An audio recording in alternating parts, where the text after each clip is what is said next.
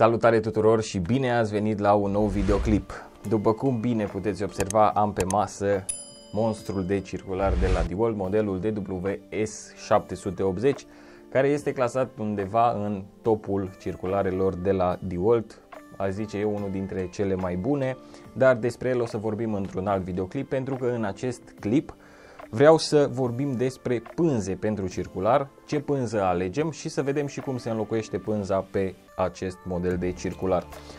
A lucrat foarte mult în 2020. Este pânza originală cu care a venit circularul din magazin și ca multe altele, după o utilizare mai îndelungată, nu mai taie foarte bine. Trebuie să recunosc că pânzele de la DeWalt sunt chiar super ok și posesorii pot să confirme și chiar îi rog să confirme sau să obiecteze ceva în secțiunea de comentarii. Deci, circularul are o pânză de 305 mm în diametru și cu un interior de 30 de mm.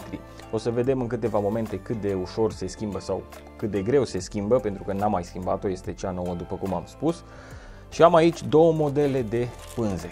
Una cu 78 de dinți, o pânză rapidă care este un model destul de nou care se folosește în general pentru circularele de acest fel, dar cu acumulator pentru că este o pânză destul de eficientă, în același timp poate să facă și tăieturi foarte fixe, foarte precise, foarte fine, dacă vreți, în diferite materiale. Și mai am încă o pânză de 305 cu 24 de dinți care se folosește în special în construcții. Aceasta poate să taie și lemne cu cuie, este o pânză ceva mai rapidă, dar nu la fel de fină în tăietură. Și acum o să vă întreb pe voi și vă rog să-mi răspundeți în secțiunea de comentarii, voi ce alegeți? O pânză cu mai mulți dinți, care taie mai fin, mai fix, mai precis, dar probabil mai încet și nu este atât de rezistentă la lemnele mai murdare, mai cu beton pe ele, la decofrări și așa mai departe, sau preferați o pânză de construcții care este puțin mai rapidă, nu este chiar așa fină în tăietură, dar care merge puțin mai repede și rezistă mai bine. Scrieți-mi în comentarii voi ce folosiți pentru circularele voastre, indiferent de marcă, indiferent de model, poate să fie și circular de mână, ce tip de pânză preferați pentru acel circular. Eu pentru că am și acum pe circular o pânză cu mai mulți dinți, cred că este tot modelul cu 78 de dinți, doar că nu este modelul de generație nouă care are și antivibrații pe ea, este modelul standard, se poate observa și pe uh, pânză că este destul de uzată, s-au tăiat tot felul de lemne cu ea și în prezent nu mai taie foarte bine, adică poți să tai, dar merge destul de greu față de uh, o pânză nouă care taie impecabil și foarte repede. Fiindcă mi-a plăcut foarte mult pânza cu care a venit circularul, o să montez pânza cu 78 de dinți, mai ales că aceasta este modelul nou și are și câteva decupaje în interior, cred că puteți să o vedeți aici, are câteva decupaje care reduc vibrațiile create de pânză. Haideți să o scoatem și afară, să o vedem cum arată. Modelul este DT99576. Scrie pe ea uh, XR Flex Volt. Se folosește, după cum am zis, la circularele de genul acesta cu acumulator pentru că este de două ori mai rapidă și astfel mărește randamentul circularului cu acumulator. Această pânză vine în set și cu câteva inele de centraj, cu patru inele mai exact, în cazul în care vreți să o puneți pe un alt circular care nu are orificiul interior de 30 de mm. Haideți să o scot și afară de aici. Văd că se deschide destul de ușor. Ok. Și aici avem și inelele de centrare. Diferite inele. Eu cred că nu o să am nevoie pentru că interiorul discului este chiar de 30 de mm. Aici văd că are vopsit toată sigla asta cu diol, deci probabil că o să reziste ceva, nu foarte mult. Se poate observa mai bine acum că are aceste decupaje care reduc vibrațiile și astfel pânza taie destul de precis. Mi se pare că este și puțin mai subțire față de modelul precedent, așa că sper să facă o treabă bună. O să o vedeți la lucru în momentul în care o să-i fac prezentarea și testul pentru acest minunat circular. O să-l vedeți anul acesta cu siguranță, doar că mai aștept încă suportul pentru circular. Momentan am montat pe circular uh, brațele pentru suportul de la Evolution. Ok, circularul vine cu cheie în set pentru înlocuirea discului care este poziționat aici în spate. Se utilizează o cheie tip Torx și la, ca la majoritatea circularelor va trebui să îndepărtăm puțin această carcasă, deși pot să bag cheia aici, dar nu o să pot să scot și piulița care fixează pânza. O să încerc să vă arăt mai bine. Are șurubul care fixează discul și aici avem un șurub pe care va trebui să-l slăbim. Avem două capete aici. Îl slăbim puțin ca să putem da protecția apărătorii mai în spate. Se pare că trebuie să-l scot de tot, nu doar să-l slăbesc. Sau pot să-l slăbesc mai mult de atât. Da, pot să-l slăbesc mai mult de atât.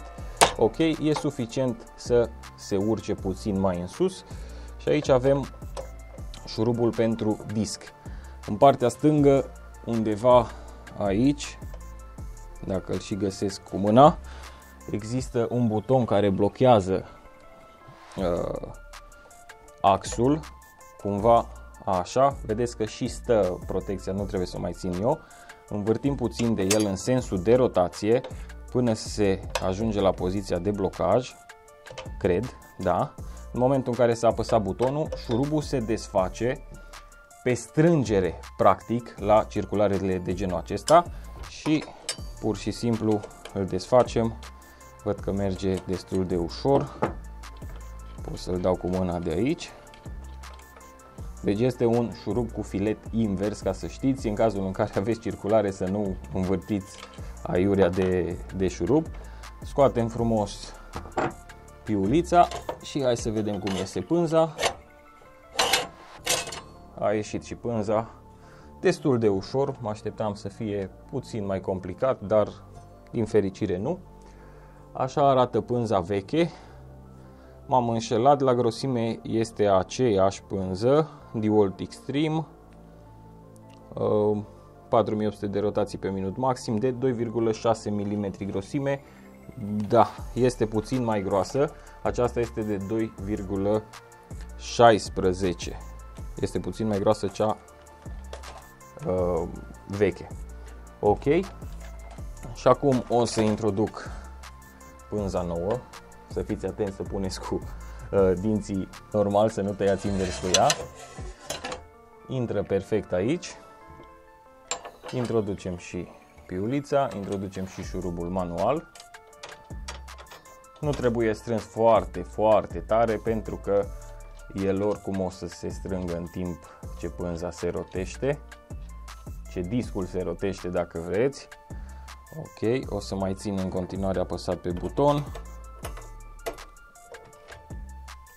Am strâns o dată, cobor protecția de la apărătoare, strâng și acest șurub.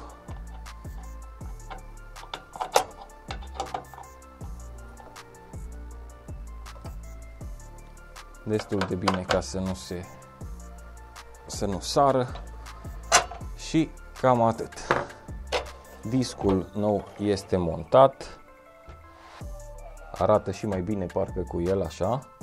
Sunt curios cât de bine taie, dar cred că o să taie foarte bine pentru că e nou. Și cu discul vechi. Nu le aruncați, discurile se mai pot ascuți cel puțin de două ori dacă găsiți pe cineva care are o mașină și știe să le ascută bine. Cel puțin de două ori un disc de asemenea dimensiune se mai poate ascuți. Nu sunt foarte, foarte scumpe. Modelul pe care l-am pus eu este ceva mai scump, dar modelul dedicat uh, pentru construcții cu care puteți să tăiați și cuie este undeva la 120 de lei, parcă l-am găsit eu pe internet. Nu foarte scump având în vedere calitatea din care este construit.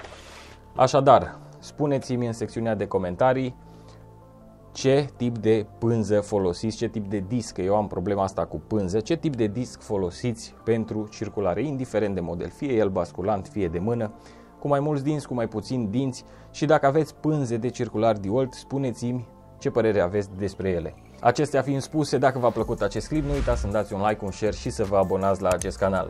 Eu sunt David și până data viitoare vă doresc numai bine!